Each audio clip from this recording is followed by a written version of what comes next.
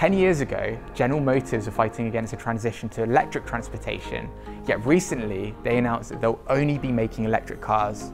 10 years ago, jewelry company Pandora were fighting against lab-made diamonds, yet recently they announced that they'll only be making lab-made diamonds. The same thing is going to happen with animal agriculture. It's a trillion dollar industry with a trillion dollar problem, and its days are numbered. Today I'm going to make a prediction that the world is going vegan. Now before I get into it, I first up want to say that I'm aware the word vegan is loaded and that this prediction might sound delusional. But there'll be an opportunity for Q&A at the end and I really welcome you to challenge any of the ideas that I put forward. But I really think by the end of this talk, there's a strong chance you could be convinced, like me, that the world is going vegan. Not because I think we're going to have some kind of ethical awakening, but because collectively we'll give up our systematic dependence on animal agriculture without even realizing it. So right now you're probably thinking, what are you talking about? And to understand this, I want to explain my journey 10 years ago. You see, I actually went vegan without realizing it. It started when I was experimenting in my diet and ditched animal products after realizing the longest lived cultures historically consumed a predominantly plant-based diet. But the key thing was, as I made the switch, I didn't even know what the word vegan meant. This is embarrassing, but I remember asking my dad, hey dad, what does vegan exactly mean? And he said to me, Klaus, I think you're pretty much vegan. You don't eat meat, you don't eat dairy, you don't have eggs, you've never liked fish. I think you're a vegan. And I started to think, not only had I stopped eating animal products initially for my health, I'd also stopped wearing leather and started to think differently. Without realizing it, I'd become a vegan. And my hypothesis is that collectively as a society, we will become vegan without realizing it. And once this happens, we'll truly start to understand the implications of our food choices and truly start to understand how many issues converge around the same choice of what we put into our mouths every single day. Because society just isn't doing this at the moment. We're not acknowledging the devastating consequences of animal agriculture. And this has really frustrated me over the years. Let me give you an example. Six years ago, I was listening to the radio, and the radio presenter was talking about his two biggest concerns climate change and obesity. These were the two most pressing issues that society needed to address, so he claimed. But what was really frustrating was there was literally no mention of meat or dairy. I was furious. I was like, I've never done this before, but I'm going to call up. So I called up LBC, a big national radio station in the UK, for those of you that don't know. I waited and waited, and then eventually, by some miracle, I got through to the producer. And before I knew it, they were actually putting me through to live national radio. So I knew that it was going to be a competitive debate because it always is on this talk radio station. So I just went for it. I said, I completely share your concerns about obesity, but did you know that the things that a plant-based diet skips, such as cholesterol and saturated fat and animal protein, are actually implicated in the onset of not just obesity, but other comorbidities? I said, I completely share your concerns about climate change, but did you know that animal agriculture is the leading cause of not just greenhouse gas emissions, but also ocean dead zones and species extinction and rainforest destruction? And then there was silence. My one moment to share my knowledge and nothing. The radio presenter completely dismissed me. And before I knew it, I was off air, the commercial came on, and that was that. You see, what you learn over time is that being vegan does it not make you popular. I remember another story around the same time when I was having a barbecue with some friends, and one of them saw that I was having a veggie burger. And he looked at me and said, I just don't know what's wrong with you, mate. Now that person, six years on, is lapping up this lifestyle because it's become socially acceptable. Doesn't that tell you something about society? Did he object to my choice of a veggie burger six years ago because of his principles? Maybe. But was it more that it was less socially acceptable at the time? Probably. And this is what it boils down to. And this may be one of the most important things that I've learned in over six years of doing this. Once you connect the dots between all the different industries and sectors, you realize there's a profound and irreversible shift away from animal agriculture that's already taking place. Now, I could give you loads of uh, statistics. I could tell you that the number of Brits consuming plant-based alternatives has doubled in the last 10 years. And for example, Wagamama's many as now 50% vegan. I could tell you that Canada's food plate now excludes dairy as an essential component, and 10% of Canadians are now vegan or vegetarian. I could tell you that the largest body of diet and nutrition professionals in the world now state that a vegan plant-based diet is healthy for all stages of life. But we get all of this. We get changes happening all around us when we see vegan adverts, menus, recipes, vegan food launches everywhere. But this isn't the reason that I think the world will go vegan, because I'm so sure that the world is going vegan, but it's not because of this. Nor is it because the United Nations have stated that for us to avoid the worst effects of climate change and world hunger, the world needs to shift. Nor is it that COVID 19 has shone the spotlight on animal agriculture like never before, with a recent report showing that five of the seven most likely causes of the next pandemic are linked to animal agriculture. And finally, nor is it the fact that 80% of all antibiotics produced around the world are given to farmed animals to keep them alive, increasing the chances of antibiotic resistance, threatening us with the return of early 20th century healthcare where infections that we currently view as trivial become deadly. The point is, there are so many reasons the world needs to go vegan, but none of these are the main reason the world will go vegan. Because to be honest, many people know this stuff. Many people know that animal agriculture is a leading contributor to some of the biggest existential crises we're facing as a species, and still buy animal products. I remember talking to my friend Pete, a really bright guy, always trying to do the right thing. I was talking to him about climate change and what we could do as individuals to make a difference. I told him about a study by the University of Oxford described as the most comprehensive of its kind. The study showed that for a typical average consumer, ditching meat and dairy is not just the single biggest way to reduce your greenhouse gas emissions, it's the single biggest way to reduce your impact on biodiversity, the nitrogen phosphorus pollution caused by your food, the land use and water use. Put simply, as the study author said, avoiding meat and dairy is probably the single biggest way to reduce your impact on the planet. And guess what? My friend Pete still buys animal products. Why is this? Is it because the University of Oxford isn't credible? Is it because he doesn't care or isn't compassionate? None of these things. What I've learned is that even though being vegan is such a simple lifestyle choice and definitely not extreme, we're social creatures and internalize ideas from our socialization. It's taken me over six years to understand this. That yes, awareness is important and has been responsible for many people changing their lifestyle, but I think the world will only go vegan en masse once we have a path out of something called cognitive dissonance. Now, many of us have heard of cognitive dissonance here today, I'm sure, but let me give you a quick example to really illuminate this issue for us. So, when I was 18, before I was vegan, I worked in a hair salon in mainland China in a place called Dazhu.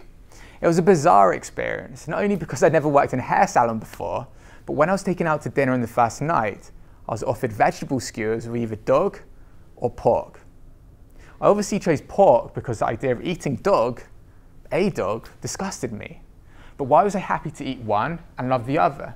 Why was I happy to eat a pig but not a dog? Even though I was rational and I knew both had the capacity to suffer, I was so entrenched in my mindset. And this is what I learned. I didn't want to confront the moral hypocrisy of my beliefs because of cognitive dissonance, because of this meat paradox. Let me explain another way. Did you know that if you give someone a beef snack and ask them whether a cow feels pain, they're less likely to say yes than if you give them some nuts? There was a study done in this a few years ago. One group was given dried beef, the other group was given dried nuts. Both groups were asked a series of questions about animals and their capacity to suffer. The participants eating beef viewed cows as significantly less deserving of moral concern compared to those eating nuts. Why was this? The questions hadn't changed, yet the responses had. Do people discount animal suffering because they subconsciously want to justify their habits? I don't know, but it's an interesting study. And what I do know is that when people aren't eating animal products, as I myself experienced, they're more likely to appreciate and admit the implications of their food choices. Now, there are other examples outside of meat. Let's take potatoes. We consider potatoes part of many national dishes here in the UK. But did you know when potatoes were first introduced to Europe in the late 16th century, they were met with widespread resistance? People actually thought they were poisonous, and the church even claimed they were the devil's apple. Of course, over the years, potatoes have become a staple in the Western diet, partly because of government subsidies because it could be grown so easily. But it goes to show that once behaviour changes, our perception changes. And this is a basic universal concept. Let's discuss the smoking ban. Now, how many of you in the audience remember the days we could go out and smoke wherever we wanted? Outdoors, indoors, even in pubs. Going out to a pub, you knew you were going to come home, your clothes were going to stink, even the next morning, because of the smell of smoke. But the freedom to smoke was considered a human right, a liberty that some enjoyed and others tolerated. So when the UK government tried to introduce a smoking ban in indoor spaces, people said that pubs would never be the same again. There was an outcry, and yet once it happened, people started to appreciate the benefits, including avoiding the stink and secondhand smoke. It's the same with congestion charges in busy cities.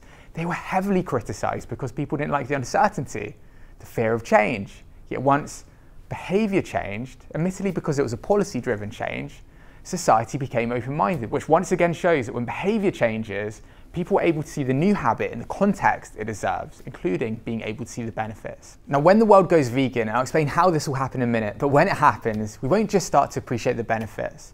We won't just start to appreciate the fact that we can get all of our nutrients from a plant based diet, and the fact that plant based dieters are, for example, 73% less likely to suffer from moderate to severe COVID 19, a disease that ironically was caused by us exploiting animals in the first place.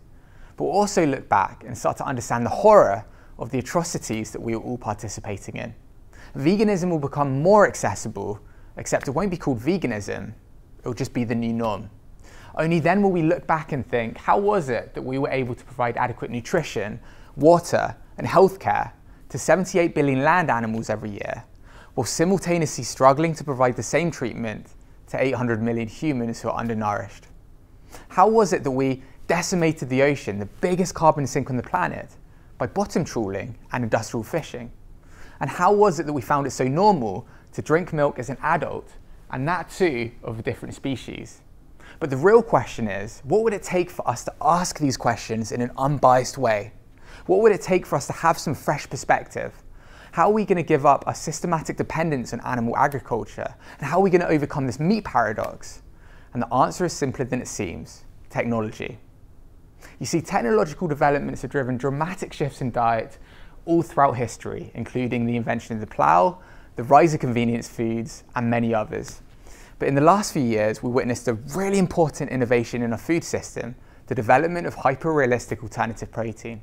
Now, to understand why I'm certain that this will precipitate a worldwide shift away from industrial animal agriculture, I think it's really important to say that I'm not the only one making this prediction. Richard Branson has said the system will transition within three decades. And even Tyson Foods, one of the largest meat processing companies in the world, admit that the future of food will likely be meatless. This is what it's all about when you've got leading meat companies, and Tyson aren't the only ones, by the way, there are plenty of others saying, hey, we need to change. That's when you know that the world is changing. But how will this play out exactly? Well, the easiest way of explaining it is this. Today, the idea of eating meat and eating animals is synonymous. When we buy meat, our expectation is that an animal is being slaughtered for a bit of flesh on a plate. The process and the output are intrinsically linked. But what if these became separate concepts? What if we could go to the supermarket and buy all of the meat we want without breeding, confining, slaughtering animals? The person who illuminated this issue for me the most was Eric Schmidt. Who here has heard of uh, Eric Schmidt? Huge name in Silicon Valley, previously the executive director of Alphabet, Google's parent company. Now, as far as I'm aware, he's not vegan himself, but a few years ago he said that vegan meat was the most important trend in tech. Now, he wasn't talking about passing off food like tofu for meat by chucking in some spices and flavors. That was the old school way, and let's be real, no surprise that these products didn't make a dent on the industry, because a lot of them tasted distinctly different to meat. But the trend we're seeing now is companies in Silicon Valley and around the world raising hundreds of millions of dollars building plant based alternatives up from the molecular level to mimic the taste and texture of real meat. And they're now partnering with massive fast food chains, including McDonald's, who've just released their new McPlant burger, or Burger King, who've just launched Impossible Chicken Nuggets. And it doesn't end here because there's another technology called precision fermentation, which through fermenting microorganisms has been shown to produce the exact same proteins in animal milk and cheese. British billionaire Jim Mellon recently came out saying he's certain the future will be free from traditional dairy, not just because of the unsustainable subsidies that artificially keep this industry profitable, but because of precision fermentation. And it goes one step further. Because I think we've all heard of lab made meat or cultured meat, but who here actually knows how it works? In a nutshell, it involves putting animal cells in an incubator, allowing them to grow into muscle exactly as they would inside the animal's body, except outside of the body. The key thing is that this gives us the chance to produce real meat, cultivated meat, without the need for animal slaughter. This might sound futuristic, but not only does Google co-founder Sergey Brin say this innovation could transform the world, but it's already happened with the launch of the world's first cultivated chicken nugget last year in Singapore, with many more products in the pipeline around the world that don't require antibiotics, don't require steroids, and most importantly, do not require slaughter. But here's the thing, this idea of meat without slaughter or dairy without milking or fish without fishing, you might be thinking it sounds like an interesting idea, but these companies are in the early growth stages, right? So will it be scalable or cost effective? Now to understand why I'm certain that economies of scale will be possible, we have to take a step back and look at the enormous economic inefficiencies of our current food system, particularly animal agriculture, which is completely unsustainable. Not just because of its contribution to climate change and health cleanup costs, but because for the vast majority of farms and meat and dairy companies, they simply would not be sustainable in the absence of government subsidies, we take for granted that subsidies are necessary for food security, but did you know in the US, animal agriculture is subsidized to the tune of $38 billion each year? By comparison, fruit and vegetables receive less than 1% of that amount. This has nothing to do with food security and everything to do with the power of meat and dairy lobby groups. Imagine if rather than artificially propping up animal agriculture, we redirected this money into the alternative protein space, which many lobby groups, including the Good Food Institute, are already pushing for, as well as the fastest growing ESG investor network, the FAIRR Initiative. And even if alternative protein is not subsidized, the beauty of this industry is that while the initial innovation and infrastructure will cost money, the running costs will be significantly lower than animal agriculture for obvious reasons. Think about it. Animal agriculture requires a huge amount of input, water, energy, and land, not just for the animals, but for the crops to feed the animals. Animals are incredibly inefficient converters of feed to food. Meat and dairy require staggering 83% of farmland despite producing just 18% of calories. This disparity does not exist in the alternative protein market, which is why even without subsidies, these products are just as cheap. And that's why investors are getting excited, with cultivated meat receiving $350 million of funding in 2020 alone, up over 600% compared to the previous year. In the same way, internet based startups were all the craze in the 90s, even before internet usage was widespread, cultivated meat is receiving a huge amount of funding even before these products are available everywhere. But you might be thinking, even if cultivated meat, or any form of alternative protein for that matter, costs the same and tastes the same and is available to purchase at the same places, can we trust it? Now, what's interesting about trust is it's slow but fickle. At first, we resist the unknown. We don't trust it purely because it departs from the norm. But once we try it and new subconscious habits form, we act like it was normal all along. You see, our brains are hardwired to see the future through the prism of our present. When I was growing up, I remember privacy being an inalienable right. We valued our privacy and loathed the idea of CCTV or sharing data online. And yet consider how fundamentally our attitudes have shifted. Today we accept our data floats around in the cloud, collected, analysed and shared with third parties. Or take music over the last 20 years. In the early 2000s, the vast majority of people could not see themselves streaming music as opposed to owning it. Yet today, 77% of the music listened to in the US is done by streaming. The point is, once change happens, we retrospectively think of the change behavior as normal and ordinary. And here's just one snippet of the change that we will see as normal and ordinary in the future. When you go to the supermarket, the aisle where you'll find your meat, your chicken, your pork mince, your bacon, it won't be the meat aisle, it'll be the protein aisle that in the short term will contain not just traditional meat, but also hyper-realistic plant-based and cultivated meat. Whole Foods started this trend in 2016 by placing the plant-based Beyond Burger in the meat case. Nobody reported at the time, but it was a pivotal event because it signified a shift in how we view these products.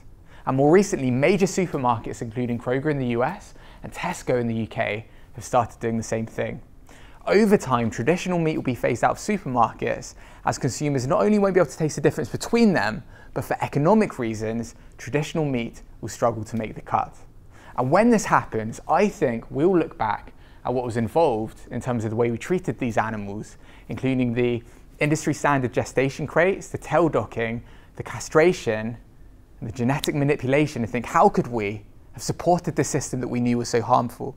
And also, how can we justify it on the basis that it resembled a food chain? Because what we do to animals right now in 2021 when we artificially impregnate them, when we take away their babies shortly after birth so we can take their milk, and when we kill them in windowless slaughterhouses has nothing to do with the food chain. For now, it's just a bacon and cheese sandwich, but when this is ended, as it will, because the world is transitioning whether you like it or not, I think we'll acknowledge the true scale of the injustice in the same way we currently look at other behaviours that we did in the past that we're appalled by. The point isn't that we're bad people. Most people do feel a deep connection of animals, but we end up making eating animals abstract by calling it meat and dairy, by wrapping it in a clean packet, and by marketing it in the way we do, equating it to all kinds of ridiculous things such as masculinity, social status, and family values.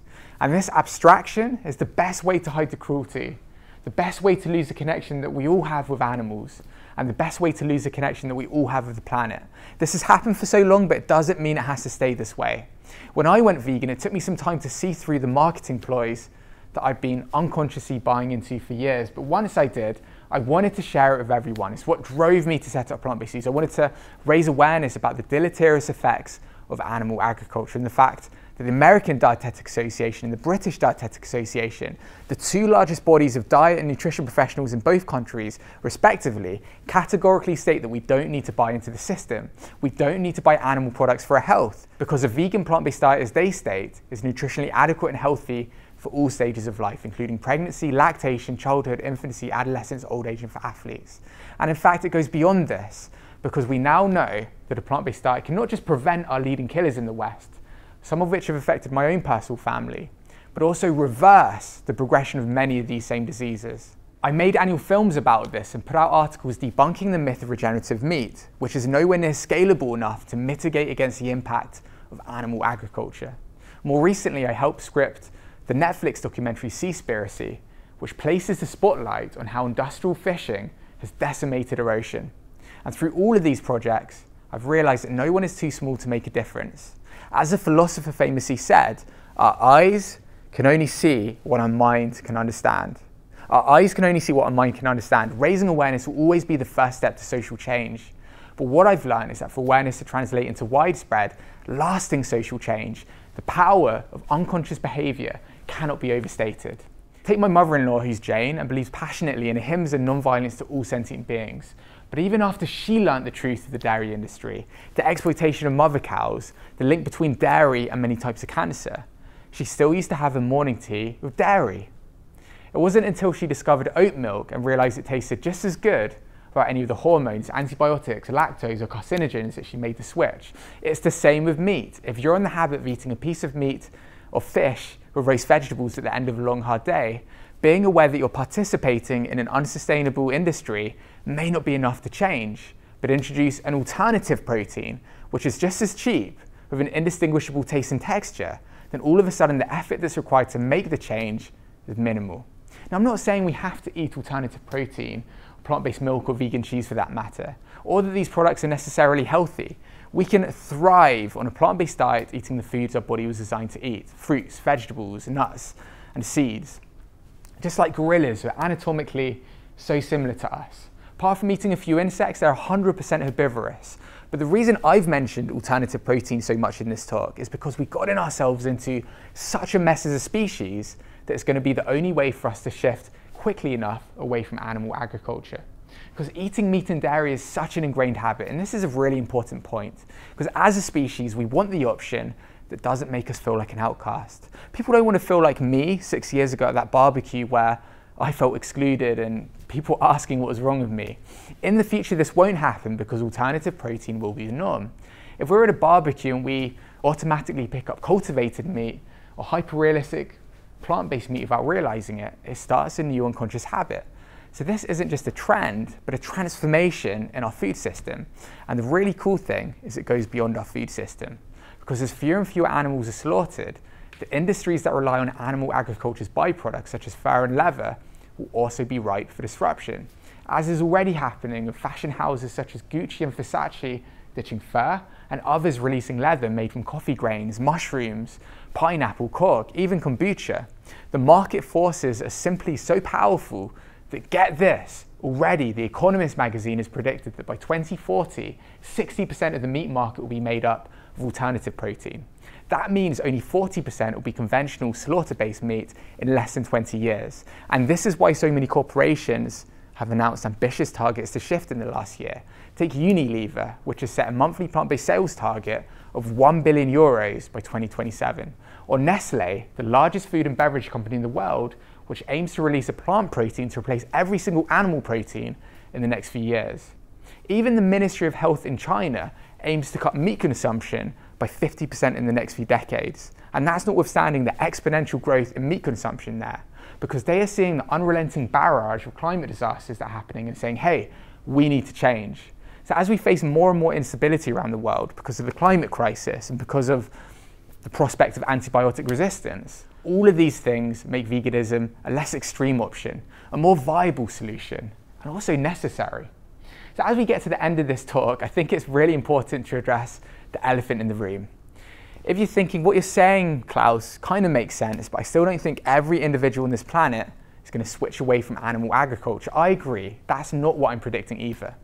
Veganism is defined by the Vegan Society as a philosophy and way of living which seeks to exclude, as far as is possible and practicable, all forms of exploitation of and cruelty to animals. When I say the world will go vegan, what I'm saying is that by shifting away from animal agriculture on a global scale, we can and will see a world which excludes the exploitation of animals as far as is possible and practicable. The future I'm predicting is based on collective veganism, that is, veganism as a practical reality in a collective sense. Of course, agricultural reforms in developing countries will be slow, and in our lifetime, there'll still be factions of hunters, fishermen, and communities that farm animals, perhaps out of necessity, but remember the definition of veganism, the minimization to the highest extent practicable of all forms of animal suffering. If a subset of the population needs to farm animals, this is not necessarily odd to the definition of veganism. The point is, I'm talking about a global shift away from systematically breeding billions of animals into existence to be slaughtered, and the implications will be profound. Imagine if we were brought up without the moral hypocrisy that some animals are bred to be exploited, while others to be cuddled and loved. Imagine if we were brought up to respect all forms of life and to prevent unnecessary suffering of all sentient beings.